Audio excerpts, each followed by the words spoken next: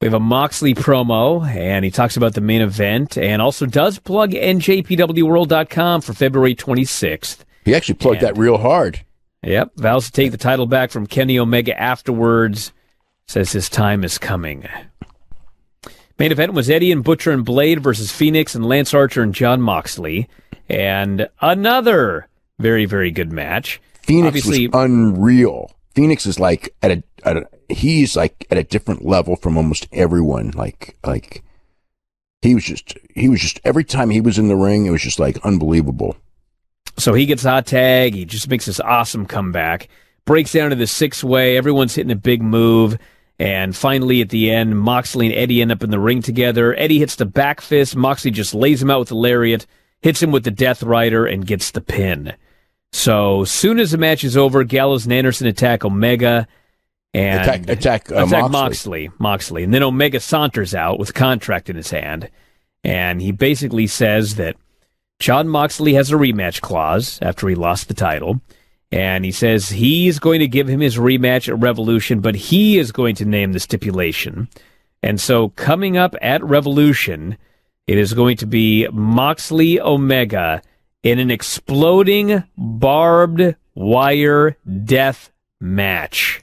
They're doing Onita rules. Yes. Well, they are outdoors.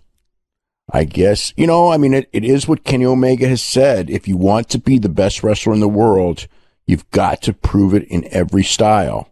So they are going to do 1993 FMW wrestling. Um, you know, and Moxley, Moxley's in for that stuff anyway. Um, I mean, uh, I don't know. I'm not fan of that, but would, you know, that's that's what they want to do. This dude's got to get it out of his system before his baby daughter arrives. Moxley, he'll still yes. be doing it after after his daughter arrives. Uh, he may. We'll see. I think he will. I, I don't. I don't know that, that will change. He'll be changed, but I don't know that he'll change from that. So he threw a headbutt at Omega. Omega kills him with two V triggers. They must have hit on the headbutt because Omega's bleeding from the. Oh forehead. yeah, Omega's Omega was bleeding. Yeah. And that's how the show goes off the air. So, excellent professional wrestling show. Hey, if you're a big fan of Wrestling Observer Radio, we got 12,000 episodes of all of our podcasts up at our website, WrestlingObserver.com. If you sign up today, you get access to every single one of them. The 12 to 18 new shows that we do every single week.